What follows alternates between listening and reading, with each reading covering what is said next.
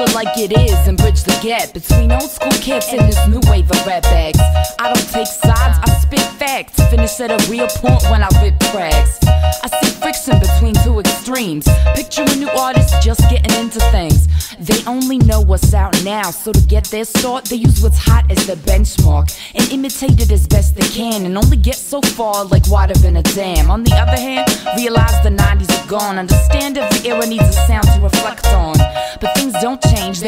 progress. So come back to where they started, like a bird to.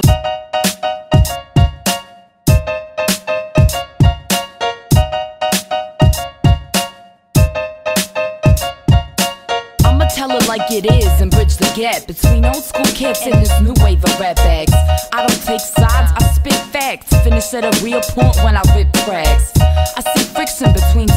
Extremes. Picture a new artist just getting into things. They only know what's out now, so to get their start, they use what's hot as their benchmark and imitate it as best they can, and only get so far like water in a dam. On the other hand, realize the 90s are gone. Understand every era needs a sound to reflect on, but things don't change, they only progress. So come back to where they started, like a bird to a nest. Either way, don't sit and hate cause you can't relate. Don't sit and hate cause you can't relate.